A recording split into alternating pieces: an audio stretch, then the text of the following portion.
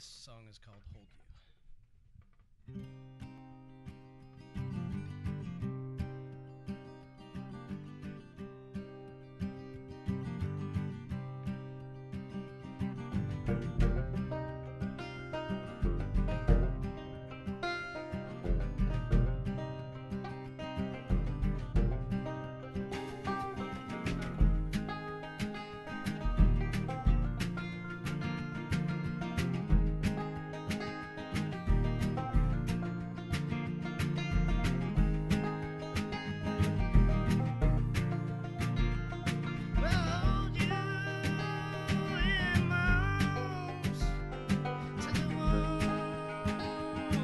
outside.